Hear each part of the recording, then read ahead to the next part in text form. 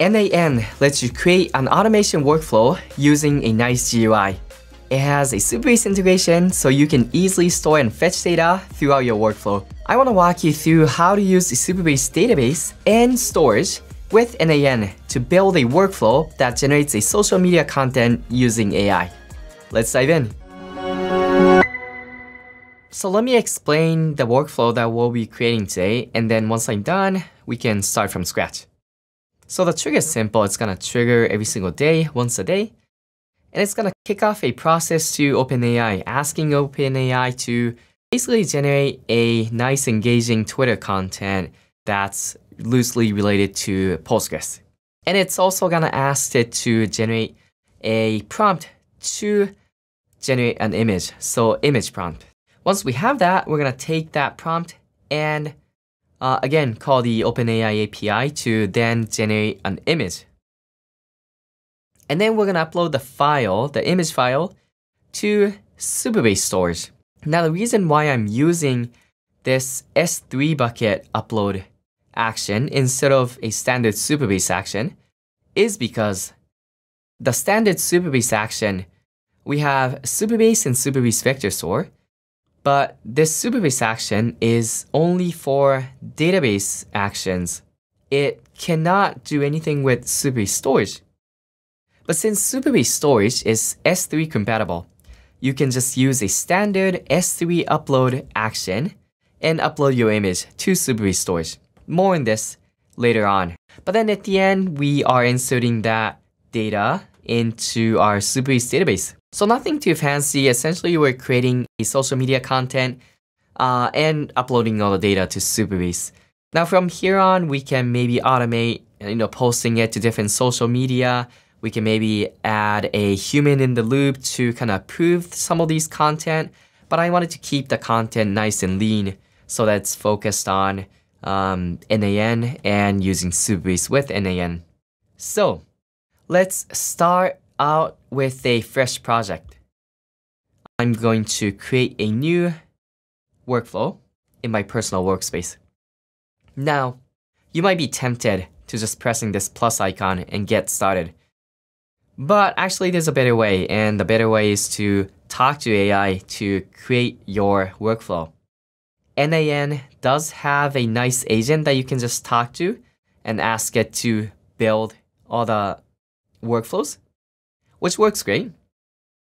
But also, if you're like me, um, if you worry about these AI credits and if you're using n8n a lot, you can just go to any AI agent ChatGPT, Claude, Gemini, whatever it is, and ask it to create a n8n workflow in a JSON format. What you can do is once you have that JSON format workflow, you can just copy that, paste it into n8n, and it's just gonna work. I mean, you, you probably have to adjust some minor details here and there, but the majority of the work is done for you. Let's jump in. I want to create an workflow that generates a social media content using n8n and Supabase. The basic steps are it kicks off the workflow once a day, and then it goes to OpenAI to generate a engaging social media post content for Twitter about Postgres. Now, this content should go with an image and the image should be a nice looking screenshot of a helpful code snippet. So the Twitter content should be a helpful Postgres tip. In the image is a code snippet that supports the claim of the tweet. Generate the image prompt as well as the main Twitter uh, text from this OpenAI step. After that, call the OpenAI API to generate the image using the image prompt. And then it'll upload the image that it generated to Supabase storage. But because there are no Supabase storage action in n8n, use the S3 upload action. Once the image is uploaded, insert all the data into a Supabase database. Also, provide me the SQL snippet to create the table for the Supabase database. Generate a JSON format of the n8n workflow so that I can just copy and paste it into my n8n workspace. All right, that should be good. So this is pretty neat, right? It's constructing this JSON format workflow and we can literally and literally just copy and paste this into n8n and it'll I mean it's probably not gonna work the way it is, but it'll scaffold the basic workflow that we need. Alright, so we have the nice n8n JSON code as well as some steps to configure it in Supabase. And I also want to take a look at this SQL code. So social media post table, and we're going to store the tweet, text, image prompt, image URL, image file name. Seems redundant, but it's all right. Um, social media post status, this, that, updated column. It's a. Honestly, I'm probably just going to use the create table statement uh, and kind of ignore everything else. So we can just literally take this, hit copy, come in here and hit Command V. Boom, there you go. So we have this nice workflow. So the trigger is just a standard trigger. It triggers it every 24 hours. Nothing too special going on here. Looks good. Now, the first OpenAI step. This is generating the nice tweet about something about Postgres and bunch of image prompts and whatnot. We can use a different model. We can keep it the same GPT 5.1, 5.2. Yeah, we can just keep it as GPT 5.1. And then here you go. We have the system prompts right here. You are a Postgres expert and social media content creator you create engaging content, blah, blah, blah, about always respond with a valid JSON, no markdown for, um, and we have to make sure this output content as JSON is selected. It is selected by default right here, which is great. So, great. We have a tweet text, speed up, slow count, queries, blah, blah, blah, image prompt that goes with it and tip category, sure. Uh, code snippet, sure. It seems like we have all the information that we want. So that's great. So far, so good. Now, a few times when I tried it, it adds this uh, parse OpenAI response action in between. We don't really need that because it's already a nice structured JSON output. So I'm just gonna delete that and then go to the next action, which generates the image. In here, we can take this, so we can delete everything in this prompt and take this image prompt right here, which essentially passes all the prompt that, um, you know, the early OpenAI action created. We can also tweak the dimensions if we want to. I'm just gonna go with the lower resolution just because we're kind of playing around here. Um, I'm just gonna change the model to GPT image 1 and let's try it out. Now generating image uh, will take some time, so be patient. Alright, it seems like the image has been generated. We can view the generated image and it looks alright. We can always come back and fix the small details, but yeah, I like it so far. Now, from here, we actually don't need to download the image. We actually don't need to prepare and upload, whatever that step is. We can just go into uploading it to S3 or our Supabase storage bucket. First, we have to configure our S3 credentials. So I'm just gonna create a new S3 credentials to connect it to my fresh Supabase project. I've already created this Supabase project, but if you don't have one yet, you can get one by heading to database.new. Once you have one, you can head over to storage and create a new bucket. I'm just gonna make this a public bucket because we won't be storing any sensitive data. All we're gonna do in this demo is, at least is just fancy code snippets.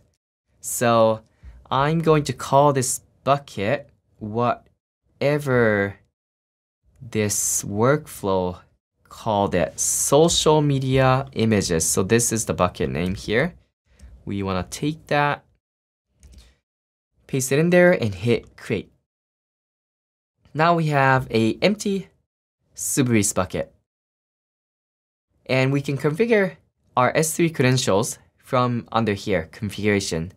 So over to n8n, I'm just gonna go back to the S3 credential page and copy over all the credentials. So endpoint, we want to copy what we have here and then region, we want to copy that over as well. Access key ID and uh, secret access key is something we create from down here. So we're just gonna create a new access key pair. I'm just gonna take this access key ID and secret access key. Make sure not to expose your ac secret access key because otherwise um, anybody would be able to do anything with your storage bucket. So that's good. Okay, so we have all the credentials in and the bucket name should be correct. The ACL. Not sure what that is. We can probably delete that. Everything else should be fine except the file name. So we can upload it um, the way it is, but we need to give a file name. When this S3 upload action runs, it doesn't have much of an output. It just outputs whether um, the upload was successful or not, so true or false. It doesn't come with the file name. So what we can do is we can create a file name for this way early up here. And for this, I'm gonna use data transformation and edit field. Now, we don't need to edit any of the fields. We can just create a uh, static variable almost. Uh, so file name and I will, this will be, I'm just gonna do something quick and dirty. I'm just gonna do now plus dot ping. So the output string looks something like this. It's the timestamp, the current timestamp dot ping, which works in this case. It's good enough for us.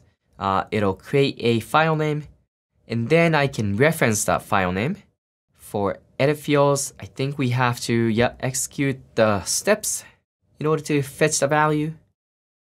Alright, so now that we have all the values, we can go here and reference this file name in here, right here. Awesome. This should do it, I think. One thing I forgot to do is we also have to check this force path style. Honestly, I'm not sure what that is, but um, otherwise it wouldn't work.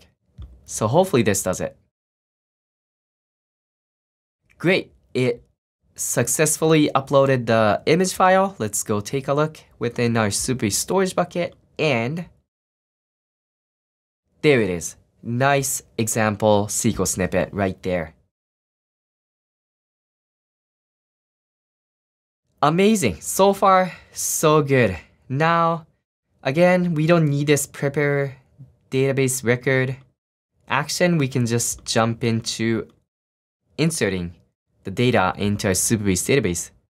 And it looks like this, in this particular instance, it didn't successfully transfer all the actions. But what we want to do is instead of insert, uh, it's called create, but we want to create a new row.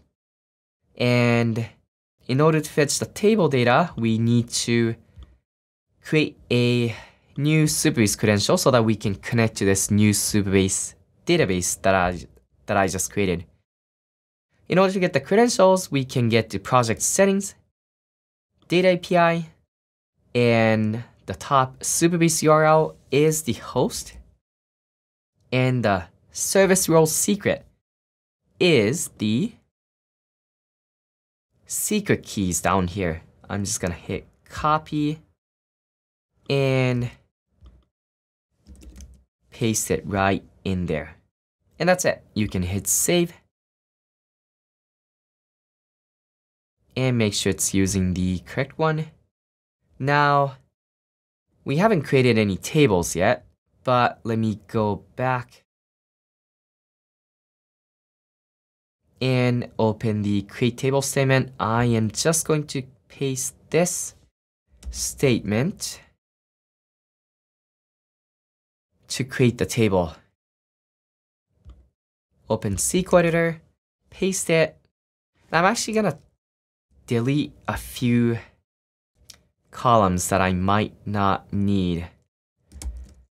I am not going to need image file name because image uh, URL should do it.